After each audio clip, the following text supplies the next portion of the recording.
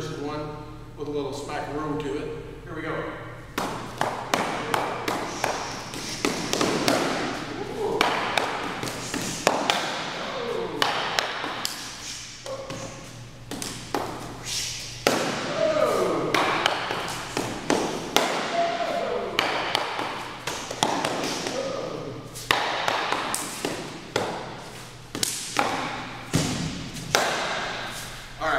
Two versus one's a blast.